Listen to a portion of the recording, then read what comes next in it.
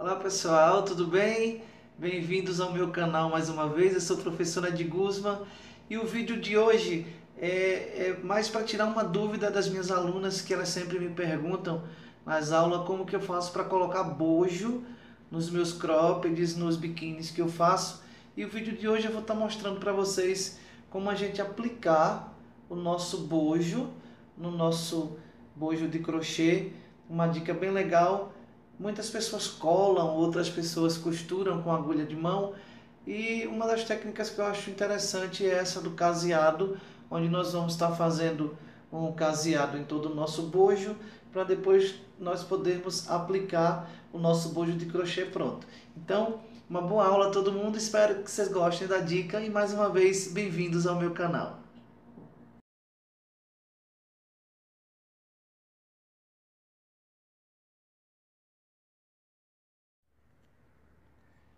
Para a aplicação do nosso bojo nos nossos biquínis ou nos nossos croppeds, nós vamos precisar de um bojo em crochê já pronto. Esse daqui eu, tô, eu tenho nove carreiras, eu fiz ela no charme da círculo e eu comecei com 20 correntinhas, fiz mais três para voltar e assim eu fiz nove carreiras e eu já tenho um pronto aqui. Nós vamos precisar também de um bojo, esse aqui é um tamanho M, e nós vamos precisar cortar essa ponta, porque ela fica sendo desnecessária para o nosso trabalho. Então eu venho com a tesoura aqui, ó, e eu vou cortar essa ponta, vou cortar uma outra ponta e assim ficou dessa forma. Ah, deixa eu falar, esse aqui é o solzinho que eu ganhei hoje da minha aluna Malu, aqui de Caruaru. Um grande beijo para ela. Ele vai me acompanhar agora nas minhas gravações, que eu achei muito bonitinho ele. Tá? Então aqui voltando, nós cortamos o nosso bojo com a nossa ponta. Existem furadores por aí no mercado que você pode estar tá furando esse bojo. Para que facilite a vida de todo mundo, nós vamos usar uma tesoura de ponta e nós vamos furar o nosso bojo numa distância mais ou menos de meio centímetro e nós vamos furar. Nós vamos furar ele aqui e nós vamos dar uma distância que caiba mais ou menos duas correntinhas. Então nós vamos furar o bojo em toda a lateral.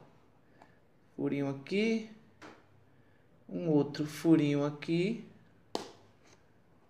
E assim, ó, nós vamos fazer furinhos. Quanto melhor a, a tesoura tiver a ponta mais fina, melhor. Nós vamos fazer furinhos em todo o nosso bojo. Eu vou voltar mostrando como ele ficou e você vai dando essa distânciazinha e você vai furando todo o bojo, para que assim nós possamos fazer o nosso caseado. Depois do bojo todo furado, nós vamos fazer esse caseado aqui, que é o mesmo caseado que a gente faz em pano de prato, para depois nós aplicarmos o nosso bojo já pronto e costurar ele com a própria agulha de crochê em toda a lateral. Eu vou terminar de furar meu bojo, vocês furam de vocês e eu volto para a gente fazer juntos. Eu já tenho aqui o meu bojo todo furado. Eu vou observar a ponta que eu cortei, que ela vai ficar para cima. E eu vou prender em qualquer um dos cantos, não importa. Eu vou introduzir a agulha num dos furos que eu fiz. Eu venho com o meu fio e vou aqui puxar e vou dar dois nozinhos. Vou dar um nó aqui e vou dar um outro nó. Certo. Aqui, ó, eu vou novamente introduzir a agulha, vou puxar o fio para frente e vou fazer um ponto baixo.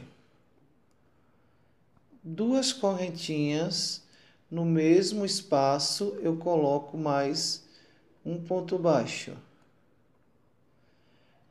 duas correntinhas, uma duas, vou no próximo furinho, introduzo a agulha e faço novamente um ponto baixo. Vou lá novamente duas correntinhas. No próximo furo, vou fazer um ponto baixo.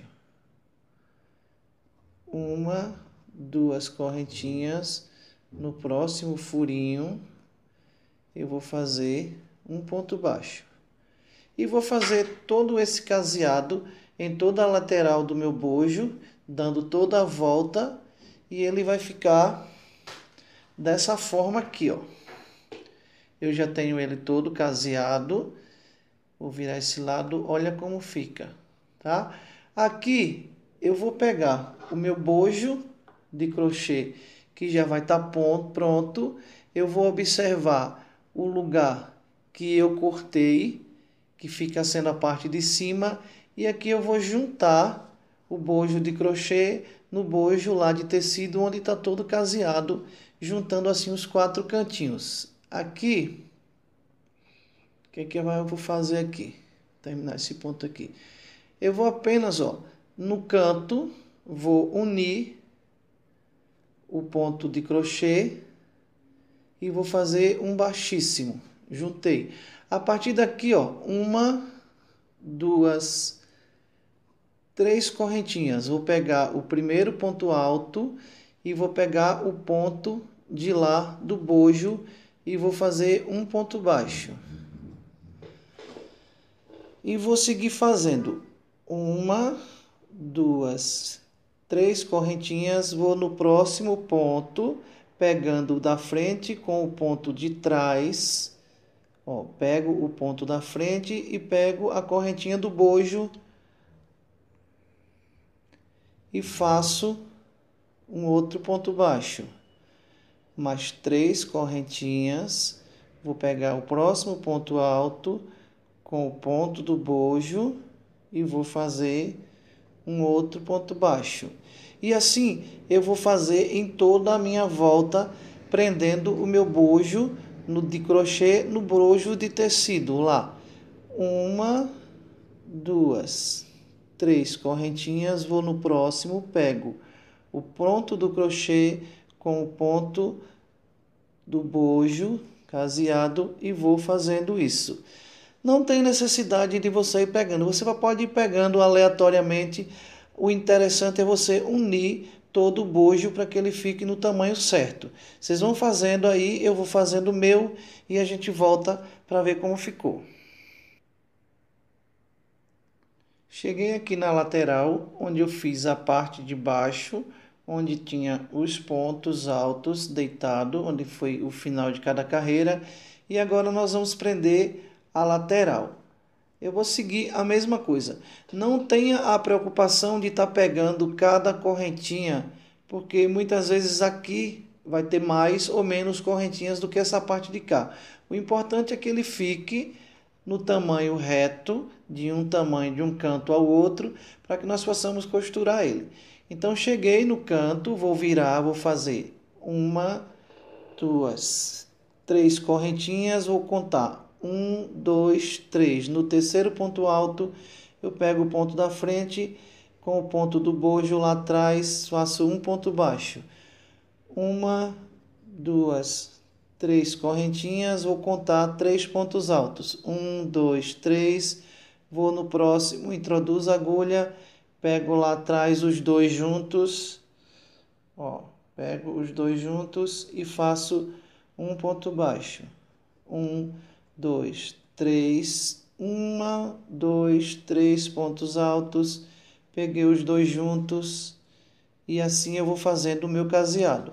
Nessa parte das três correntinhas é onde eu já vou fazer o meu acabamento e fazer o meu biquinho. Então vou lá, uma, duas, três correntinhas, pulo três pontos altos, introduzo lá, pegando os dois, faço um ponto baixo. E assim eu vou dar a volta em todo o meu bojo e eu volto para a gente finalizar. Estou chegando aqui no final, então nós vamos finalizar juntos. Vou lá, prendo novamente com ponto baixo, três correntinhas, vou pular três, vou lá novamente, uma, duas, três correntinhas, vou pular novamente três, uma, duas, três, cheguei lá onde eu comecei, introduzo a agulha, faço uma correntinha. E assim eu vou cortar o meu fio. E aqui fica o nosso bojo todo preso. E a parte de trás o mais interessante é que fica esse acabamento perfeito e a partir daqui você pode estar tá, é, aplicando esse bojo nos croppeds, nos biquínis e assim eu acho uma das formas mais práticas de se pôr e de se aplicar um bojo nas nossas peças de crochê. Espero que a dica tenha sido proveitosa um grande beijo e até o próximo vídeo.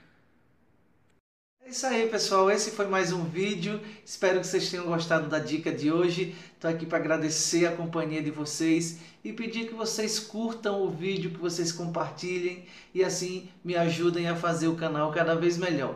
Queria desejar boa sorte para todo mundo. Muito, muito obrigado pela companhia. Um grande beijo e até o próximo vídeo. Valeu!